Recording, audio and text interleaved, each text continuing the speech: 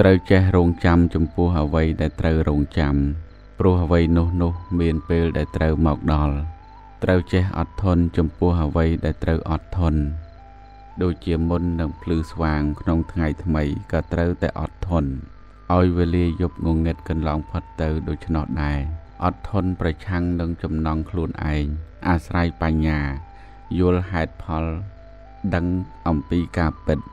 ត្រូវចេះបកស្រាយក្នុងផ្លូវខុស ព្រោះជីវិតនេះ មានផ្នែកដែលយើងជាអ្នករៀបចំឲ្យបានសុខគឺកបីសិក្សាដើរផ្លូវត្រូវ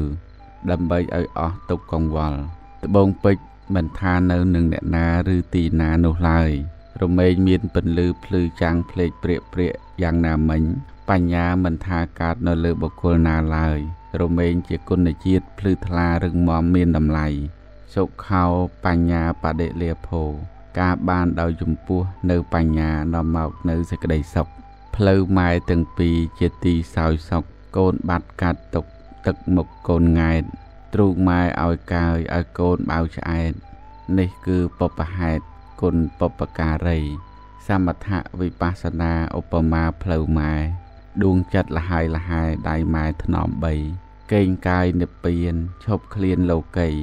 អមតៈបូរីបីដូចទ្រូងម៉ែ